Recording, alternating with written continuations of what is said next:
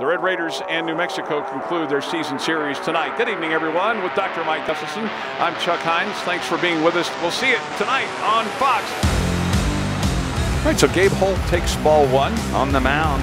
Jack Morano, Gabe on the season, is batting 303 with uh, nine doubles and a home run. Nice way to get things started for Gabe Holt. And uh, here we go for the uh, Texas Tech Red Raiders. Like we said, pretty much the usual suspects. Looks like he gets dinner. Throw down to second is not in time, and Gabe Holt steals second base. So here we are in the bottom of the first, and already runners at first and second. Morano out of the stretch, and Jung just lines one to left field. A run's going to score, and the Red Raiders to 1 nothing in the bottom of the first inning. So Hunter Dobbins will be out for another uh, inning of work. And ground ball to shortstop Jung. Josh will step on second, throw to first in time, and just like that, it's a double play. Springs up Drew Baker for the Red Raiders, the third baseman.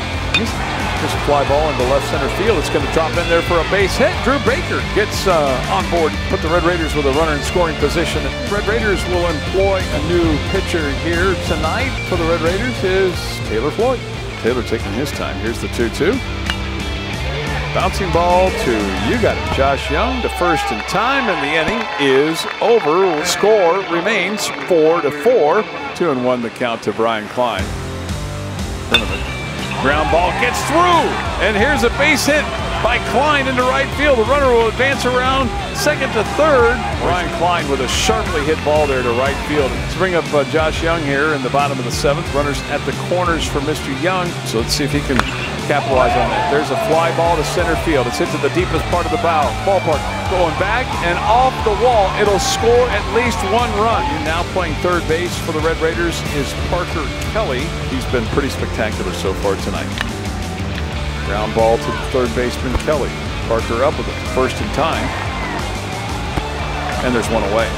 Atari in his fourth appearance struck out, and he strikes out in his fifth, and he's going to get tagged out, and that is the ball game. The Red Raiders win it six to four here at Dan Law Field at Rip Griffin Park.